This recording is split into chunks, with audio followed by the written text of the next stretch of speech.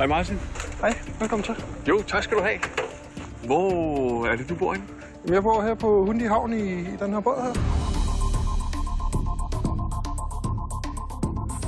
Så venligt for mig at kravle op nu. Hvordan er du egentlig øh, endt med de der ben i stedet for dine egne? Jamen, øh, i 2009, der gik jeg på en mini i Afghanistan øh, under en større operation. Øh, ja, øh, hvor vi kom i svær slåskamp med Taliban.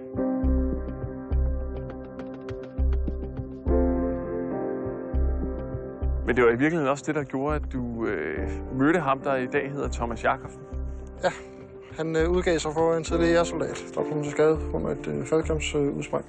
Simpelthen formåede at komme ind i, i gruppen af os, der lå inde på Krigshospitalet på det tidspunkt. Han hjalp med for eksempel kørestol og med, med dem hele den proces og, og, og sådan nogle ting. I mit tilfælde, der var kommunen meget, øh, meget firkantet og, og sagt, at jeg skal have den her standard firkantede kørestol, øh, som også låner ud på hospitalet og sådan noget. Øh, problemet var bare på grund af mine skader, jeg havde i armene og på hænderne, jamen, så kunne jeg ikke betjene de kørestol selv, øh, der var ude på, på Rigshospitalet. Så jeg havde behov for en letvægtskørestol. Og der hjalp han mig for eksempel med at finde et, øh, et øh, mærke, øh, som var godt. Og så der gik rigtig lang tid, før, før han overhovedet begyndte øh, på noget. Øh, svindel. Efter et halvt års tid var på tidspunkt har inviteret os ud til, til en julefrokost, øh, hvor vi sidder derude øh, hos ham og sidder og hygger og spiser og, og drikker. Og så sådan rent naturlig snak kom, kom vi så ind på, når man havde tænkt over, hvad I, hvad I vil med jeres liv, øh, hvad I vil bruge jeres erstatning på.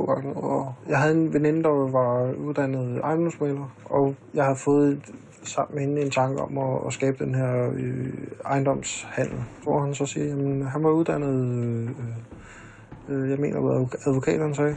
Og han havde haft mange andre virksomheder, som han havde startet op. Og mig, som ikke har nogen... Altså, jeg har aldrig startet virksomhed op før. Der lød det bare som øh, god erfaring. Martin og Thomas Vær Skovlund aftaler nu at starte et fælles ejendomsfirma. Og Martin indbetaler sin krigsskadeerstatning til den konto, han tror er en firmakonto. Og det var der, det hele går galt. De penge, jeg overførte til firmakontoen, det viste sig ikke at være firmakontoen. Øh, og jeg havde lige pludselig svært ved at få, få pengene øh, og komme i gang med firmaet.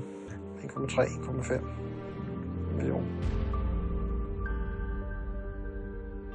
Har det ene mål for øjet, og det, det er pengene. Og, og, og han har den her evne til sådan at, at tryllebinde folk omkring sig. Hvordan har det her øh, påvirket dig? På nogle områder har det gjort mig øh, mere asocial. Øh, jeg har øh, sværere ved at connecte med nye mennesker nu. Det er en direkte bivirkning af mødet med Thomas Vass.